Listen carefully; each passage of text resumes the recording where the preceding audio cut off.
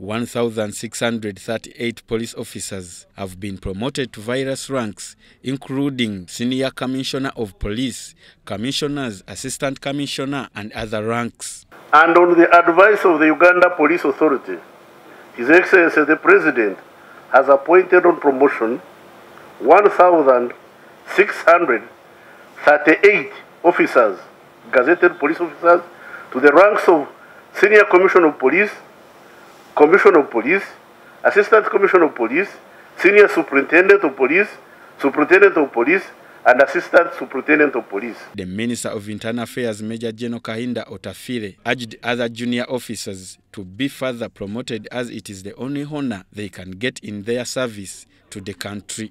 So, uh, servicemen deserve recognition because that's the only thing we can give them.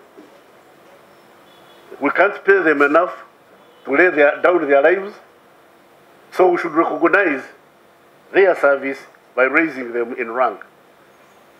Otafe also urged the concerned authorities to address the issue of housing for the officers as many come from far away to reach their posts. The Ministry of Finance authorized us to get people to build houses by a method of pre, pre what do they call it? Pre-financing.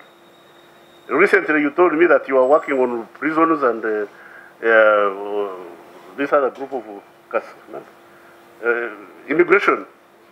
Please do it first. I want this housing project for the police, for the prisoners, for the for the immigration to commence once and, and, and, and should be done very quickly. Now, when I've done promotions, I've done housing, I've fought for salaries, then we can start dismissing people who don't do their job. Police management and several senior police officers attended the ceremony. Nicholas Nduga, UBC.